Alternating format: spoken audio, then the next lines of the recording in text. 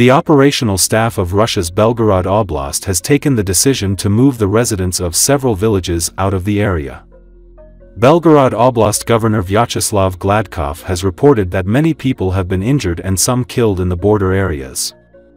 A decision has been made to resettle the residents of the villages of Poroz and Dronovka in the Graivoronsky district, and the village of Stary Kutter and the settlement of Pavlovka in the Valuisky district. The entrance to the village of Vyazovoy in the Krasnoyaruzky district has been closed. Checkpoints are being set up, and it will only be possible to enter this settlement with permission from the administration. Unfortunately, the situation remains tense, many people have been injured and some killed.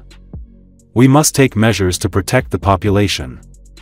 The official statements issued by the Russian authorities make no mention of combat action. Gladkov said schools located in a 20 km zone in the border municipalities of Belgorod Oblast would operate remotely. Earlier, he claimed that the situation at the border with Ukraine remains challenging but under control, and that Russian troops were conducting scheduled operations. 35 settlements are said to be closed to entry due to the operational situation.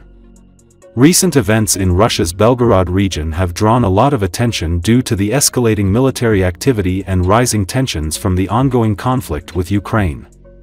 This area, situated close to the Russia-Ukraine border, has become a hotspot for intense military actions with serious consequences for both military personnel and civilians.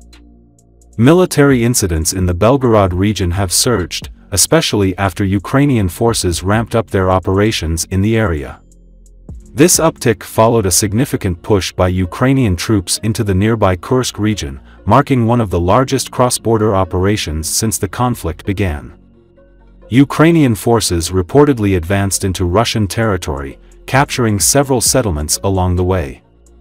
The Belgorod region has been frequently targeted, facing drone strikes and missile attacks that have resulted in numerous civilian casualties.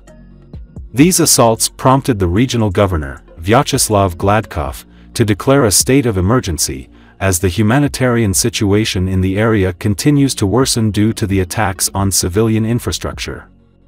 Recent reports also mention attempts by Ukrainian forces to breach the border at the Nekhoteyevka checkpoint.